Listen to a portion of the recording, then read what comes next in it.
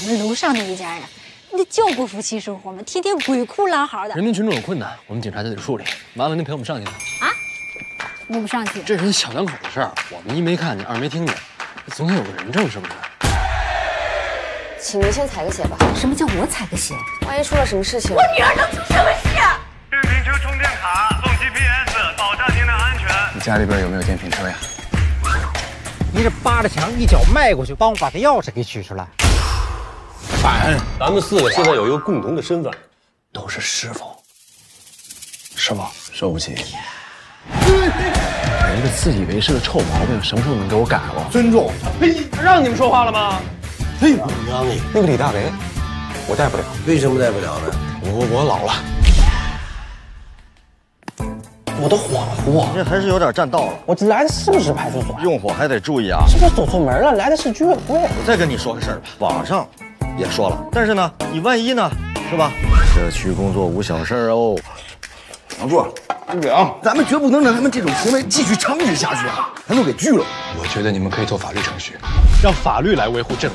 我错了吗？七十岁以上的老人不能行政拘留，你知道吗？我是不是应该反过来管你叫啥师傅呀？金姐，你信不让我带着打孩子？我是夏景仁的师傅，我替他。你鞠躬没用，你代表不了他。师傅，您刚才就不应该替我道歉。你说你这孩子，我不是孩子，我是警员夏姐。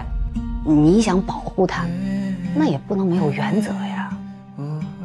你们应该以身作则，告诉年轻人，警察的身份意味着什么，警察的荣誉是什么。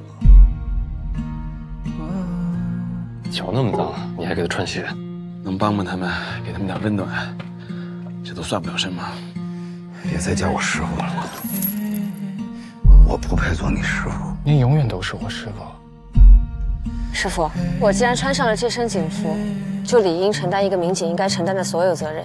您就把我当成像李大为、赵继伟一样的普通民警，行吗？上车。